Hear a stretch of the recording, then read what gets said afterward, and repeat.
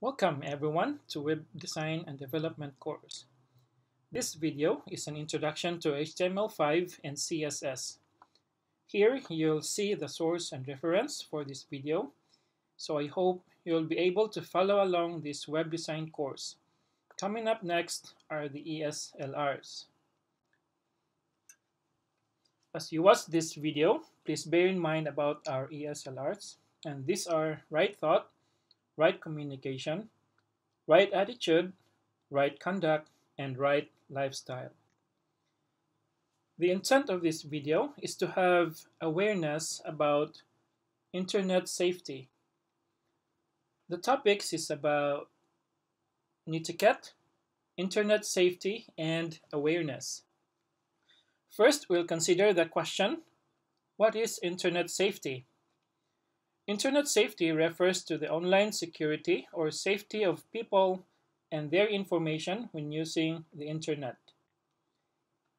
And we get this idea about netiquette.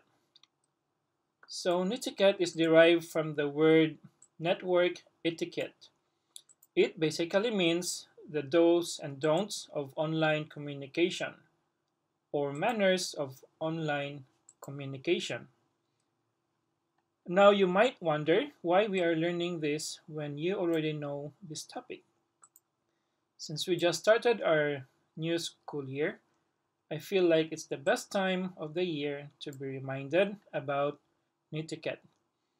In the next slides, I would like to show you the 10 best rules about netiquette. The first one is the golden rule. Treat others as you would like to be treated. Number two, no flaming. Flame means a personal insult communicated through the internet. So you need to watch your post or comments. Number three, don't type in all caps or all capital. People may misinterpret it. Number four, don't spam. Spam is any unsolicited email from a known source. Number five, don't talk with people you do not know. Do not arrange to meet anyone you meet online. Number six, obey copyright laws. Don't steal someone else's idea, property, and rights. Number seven, use proper grammar and spelling. Errors diminish the credibility of the message. Number eight, be honest. Be yourself. Tell the truth. Do not pretend to be someone else. Number nine, follow the TOS or Terms of Services, rules and policies of the sites. And 10, Shop secure sites. These are shops with transport layer security, TLS or socket layer security. In the next slide, I will show you guidelines for using username and password. Remember, remember your username and password at all times. Number two, keep it safe. Keep your username and password in a safe place. Number three, don't share. Don't share your username and password with someone else.